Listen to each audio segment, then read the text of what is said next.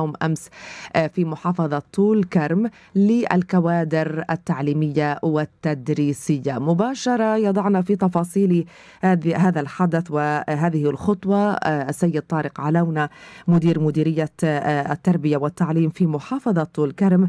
ونوجه لك تحية. صباح صباح الخير أستاذ طارق. صباح الخير أستاذ وفاء لك ولجميع المستمعين والمشاهدين أيضا. أهلا وسهلا بك ونتمنى دوام الصحة والعافية لكل الطواقم التدريسية وأيضا لكم وإن شاء الله أي يرجع التعليم إلى سابق عهده ولكن حدثنا أكثر عن بدء هذه الخطوة في تطعيم الهيئات والطواقم التدريسية.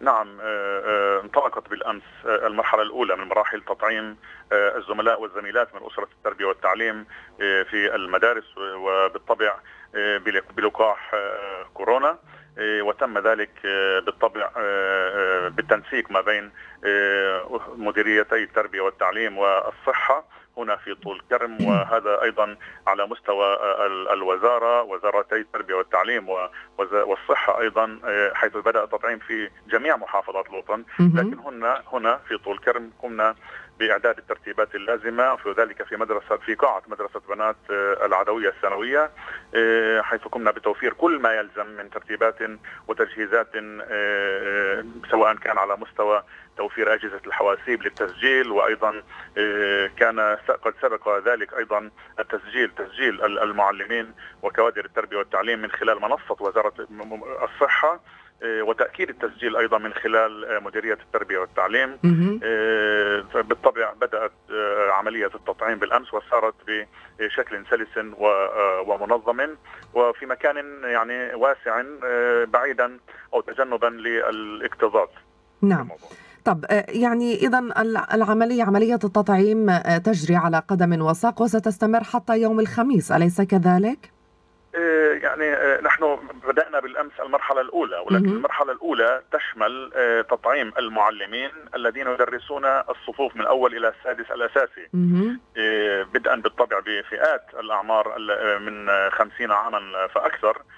وبعد بالأمس. واليوم تشمل الأعمار من 40 إلى 50 عاما. ثم بعد ذلك من 30 ل 40 وصولا بالطبع إلى جميع الزملاء المعلمين في المدارس وأيضا كوادر التربية والتعليم. يعني نعم. هذا الإجراء يشمل جميع الفئات في المر في مرحلة مقبلة. م. سيتم أيضا تطعيم الزملاء من من الذين يدرسون الصفوف من سابع حتى الصف الثاني عشر أيضا. حتى تكتمل بالطبع عملية تطعيم كوادر التربية والتعليم ككل. نعم. وربما أيضا هنا من بعض التعليقات التي أرسلت لنا من قبل السادة المستمعين على موضوع رجوع طلاب المدارس.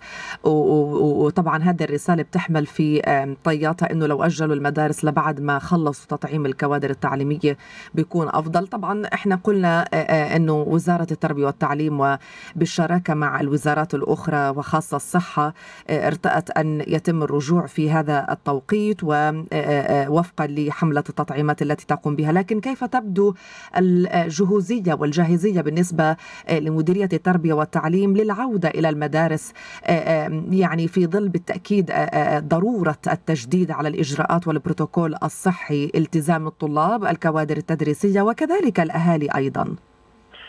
نعم يعني كل التقدير يعني للجميع لجميع مكونات العمل التربوي. وأيضا لأولياء الأمور وهم الجزء الأصيل والشريك في الموضوع. هذا الإجراء الذي نقوم به حاليا مع مديرية الصحة وبين وزارة التربية والتعليم والصحة أيضا هو يسهم في توفير مناخ آمن صحي للجميع. للمعلمين وأيضا للطلبة. مع التشديد دائما على ضرورة الالتزام بالإجراءات كما تفضلت الإجراءات الصحية تجنبا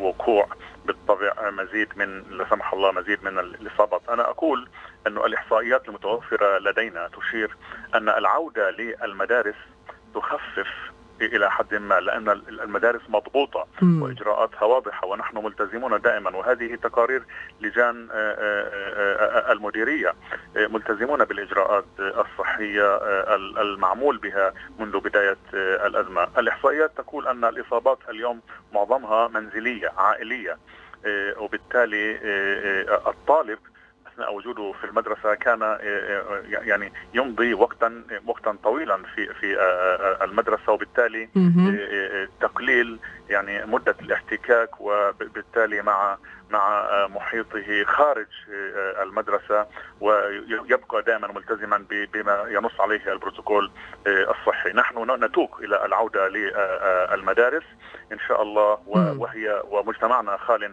من هذا الوباء. نعم ونأمل دوام الصحة والعافية وأن تجري الأمور على ما يرام في استكمال عملية تطعيم الطواقم والهيئات التدريسية واشكرك جزيل الشكر الأستاذ طارق علونا مدير مديرية التربية والتعليم. أطلعتنا على هذه التفاصيل ونأمل إن شاء الله عودة ميمونة إلى المدارس مرة أخرى والسلامه كل السلامة لطلابنا. نعم. أستاذة وفاء يعني يعني أيضا بالأمس كان هناك شراكة واضحة ما بين طواقم مديرية التربية والتعليم طواقم الصحة المدرسية والمتطوعين أيضا الذين ساندوا زملائهم أيضا في مديرية الصحة.